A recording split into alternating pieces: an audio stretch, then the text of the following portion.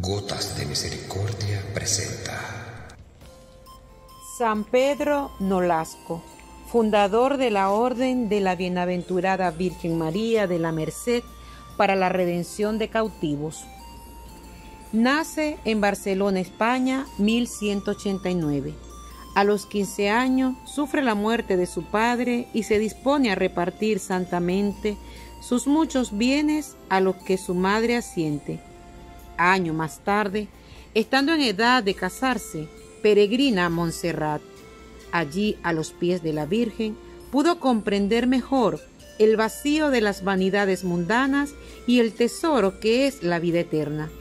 Prometió entonces a la Virgen mantenerse puro y dedicarse a su servicio. Eran tiempos en que los musulmanes saqueaban las costas y llevaban a los cristianos como esclavos al África. La horrenda condición de estas víctimas era indescriptible. Muchos por eso perdían la fe, pensando que Dios les había abandonado. Pedro Nolasco era comerciante. Decidió dedicar su fortuna a la liberación del mayor número posible de esclavos recordaba la frase del Evangelio, no almancenen su fortuna en esta tierra, donde los ladrones la roban y la polilla la devora y el moho la corroe. Almacenen su fortuna en el cielo, donde no hay ladrones que roben, ni polilla que devore, ni óxido que las dañe. Mateo 6:20. En 1203, el laico San Pedro Nolasco iniciaba en Valencia la redención de cautivos, redimiendo con su propio patrimonio a 300 cautivos.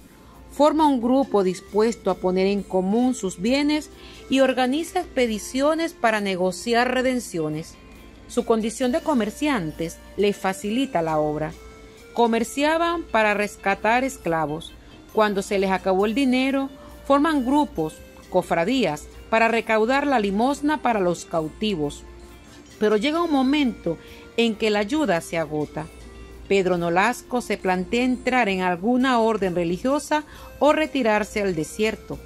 Entra en una etapa de reflexión y oración profunda. La noche del primero al 2 de agosto del año 1218, la Virgen se le apareció a Pedro Nolasco. Según una tradición dudosa, también se apareció la Virgen a San Raimundo de Peñafort y al rey Jaime I de Aragón, y les comunicó a los tres por separado su deseo de fundar una orden para redimir cautivos. El hecho es que la Virgen María movió profundamente el corazón de Pedro Nolasco para fundar la Orden de la Merced y formalizar el trabajo que él y sus compañeros hacían ya por 15 años. El 10 de agosto de 1218, en el altar mayor de la Catedral de Barcelona, en presencia del rey Jaime I de Aragón y del obispo Berenguer de Palou, se crea la nueva institución. Pedro y sus compañeros vistieron el hábito y recibieron el escudo con las cuatro barras rojas sobre un fondo amarillo de la corona de Aragón y la cruz blanca sobre fondo rojo, titular de la Catedral de Barcelona. Pedro Nolasco reconoció siempre a María Santísima como la auténtica fundadora de la Orden Mercedaria. Su patrona es la Virgen de la Merced. Merced significa misericordia. Hablemos sobre la Virgen de la Merced y San Nolasco. La nueva orden fue laica en los primeros tiempos. Su primera ubicación fue el Hospital de Santa Eulalia junto al Palacio Real. Allí recogían a indigentes y a cautivos que regresaban de tierra de moros y no tenían dónde ir. Seguían la labor que ya antes hacían de crear conciencia sobre los cautivos y recaudar dinero para liberarlos. Eran acompañados con frecuencia de cautivos ya que cuando uno era rescatado tenía obligación de participar durante algún tiempo en este servicio. Normalmente iban cada año en expediciones redentoras. San Pedro continuó sus viajes personalmente en busca de esclavos cristianos. En Argelia, África, lo hicieron prisionero, pero logró conseguir su libertad. Aprovechando sus dones de comerciante, organizó con éxito por muchas ciudades colectas para los esclavos. Los frailes hacían, además de los tres votos de la vida religiosa, pobreza, castidad y obediencia, uno cuarto. Dedicar su vida a liberar esclavos. Al entrar en la orden, los miembros se comprometían a quedarse en lugar de algún cautivo que tuviese en peligro de perder la fe en caso que el dinero no alcanzara para pagar su redención. Entre los que se quedaron como esclavos están San Pedro Hermengol, un noble que entró en la orden tras una juventud disoluta. Este cuarto voto distinguió a la nueva comunidad de mercedarios. El Papa Gregorio IX aprobó la comunidad y San Pedro Nolasco fue nombrado superior general.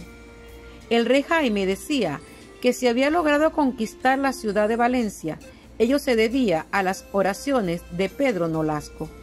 Cada vez que obtenía algún triunfo lo atribuía a las oraciones de este santo.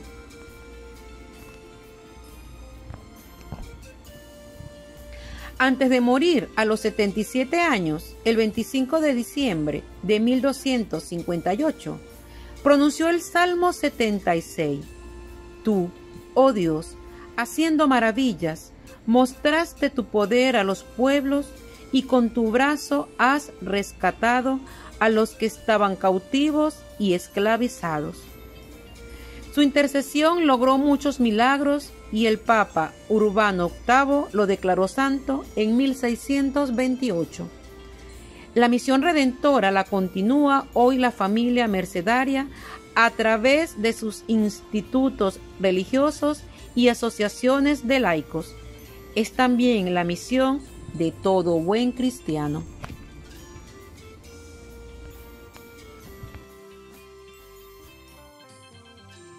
Ayúdame a llegar a más personas.